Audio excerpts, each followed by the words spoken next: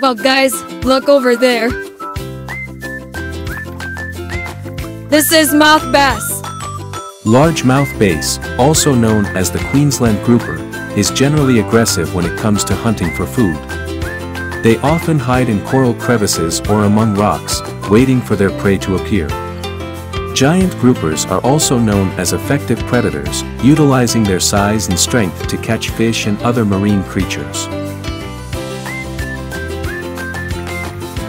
There is lobster. Lobsters walk backward because their physical structure makes it easier to do so. Their hind legs are stronger and longer than their front legs, making backward movement more efficient for them. Additionally, their downward-facing orientation with a curved body makes backward movement more natural than forward movement. This is blue whale. Blue whales, Balænoptera musculus, typically live socially in groups ranging from small to large. They are often found swimming alongside several other individuals, although they can also be encountered alone at times. Blue whale groups can consist of a few to several dozen individuals. This helps them in foraging for food and protecting themselves from predators. This is gulper eel. Male gulper eels generally have larger eyes than females. Scientists believe that males can meet females mainly because males follow the scent of pheromones released by females, but the ability of pelican eels to produce light at the tip of their tail is also used to attract the attention of the opposite sex to reproduce.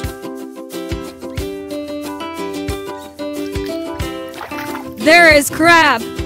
Crabs enjoy playing in the sand because it's a natural behavior for them. This activity helps them clean themselves, search for food, and protect themselves from predators by using the sand as camouflage. Additionally, playing in the sand can also help them maintain body moisture and aid in the molting process. This is gurnard fish. Currently there are many hobbyists who choose flying gurnard fish to fill their aquariums. Food that tends to be easy to care for also makes this fish relatively easy to care for. However, that doesn't mean there are no challenges at all in keeping gurnard flying fish. With a maximum size of up to 50 centimeters. Subscribe, guys. Well, guys, look.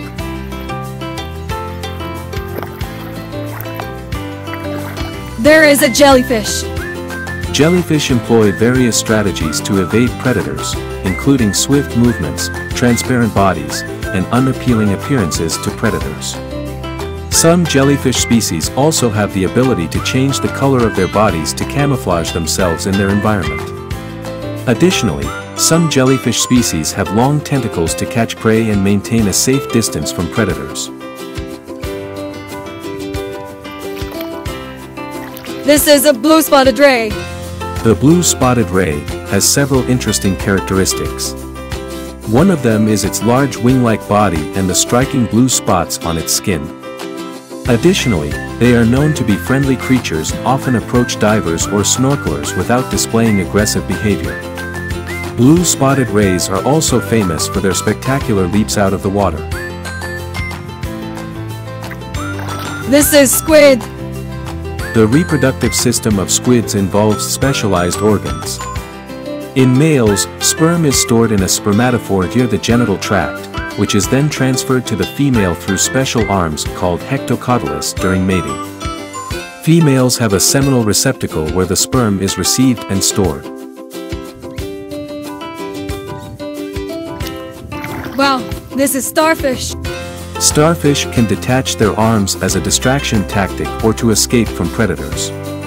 They can then regenerate the lost arms.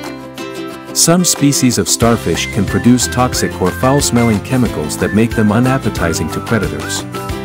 Starfish with hard shells can cover their bodies with these shells, making it harder for predators to digest or consume them. There is an octopus. When compared to other invertebrates, the number of octopus neurons is very large, namely 500 million neurons. This number is equivalent to one dog. Octopuses also have nine brains, of which one is located near the esophagus and the rest are spread across each arm. This is a moray eel. Moray eels, like many other marine species, reproduce through a process called spawning, where the female releases her eggs and the male fertilizes them in the water. However, specific details about the mating behavior of moray eels, such as mating rituals or the roles of each gender, may vary depending on the species. This is a hermit crab. Clownfish, or commonly known as Nemo fish, can generally live in aquariums as long as the aquarium environment meets their needs. They require a sufficiently large tank with clean water, stable temperature, and the provision of hiding places. Additionally, they often live in a symbiotic relationship with certain species of sea anemones, which should also be present in their aquarium. This is a crayfish. Crayfish walk forward, but they can also move backwards only when swimming by using their abdominal movements. Uniquely, they can swim backwards very quickly. And this species will molt at the end of June. They usually eat old shells to regain the calcium and phosphate contained within. This is garfish.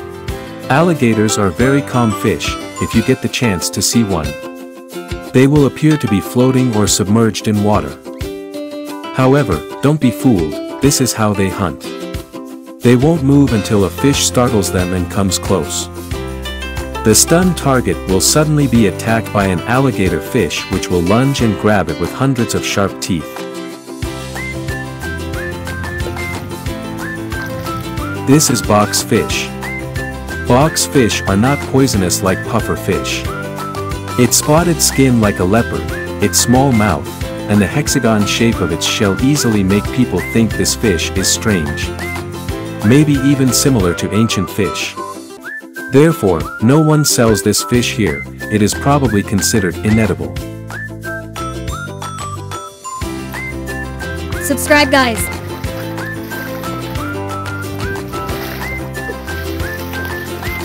Well guys, look over there. This is dolphin. Dolphins generally live in social groups called pods. They rarely live alone because they prefer social interaction with other dolphins. Living in a group provides them with protection, assistance in finding food, and opportunities to communicate and socialize. However, in some cases, dolphins can live alone if separated from their group, although this is uncommon and can cause stress to the animal. There is a puffer fish.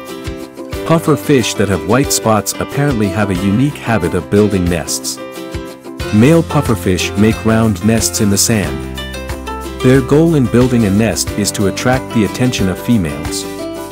Usually, if female fish are impressed, they will lay their eggs in the nest. This is a dugong. Dugongs are herbivorous marine mammals and their diet primarily consists of seagrasses, algae, and other marine plants. They are known to graze on these underwater vegetation in shallow coastal areas and seagrass meadows. Additionally, dugongs may occasionally feed on mollusks and crustaceans that inhabit the same habitat.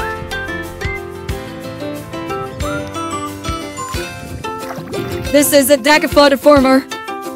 Decapodiformes is a superorder of cephalopoda consisting of all cephalopod species with 10 limbs, specifically 8 short arms and 2 long tentacles. There is a clownfish. Clownfish often reside near sea anemones.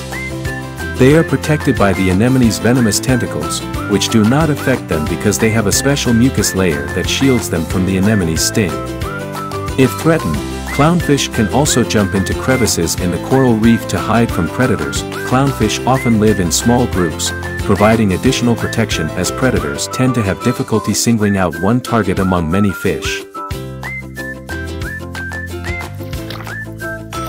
This is ammonite. Ammonites are predatory animals, these squid-like creatures live in shell-shaped coils. Like other cephalopods, ammonites are highly alert, with beak-like jaws within a ring of tentacles that extend from their shells to ensnare prey such as small fish and crustaceans. Some ammonites grow to more than 3 feet or about 1 meter in diameter. There is spotted eagle ray. Spotted eagle ray can communicate in various ways, primarily through vocalizations, body movements, and facial expressions. They often use sounds like growls, grunts, or other vocalizations to convey messages to other leopards. Additionally, they utilize body language such as tail movements and body positions to communicate. Thank you for watching guys.